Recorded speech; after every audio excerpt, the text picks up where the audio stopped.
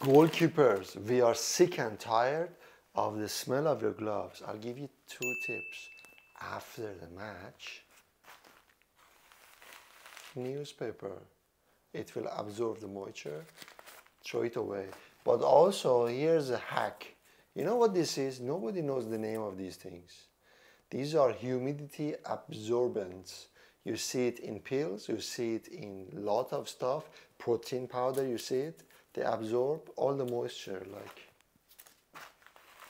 How simple can it be? By the way, you can do this for football boots too. You're welcome.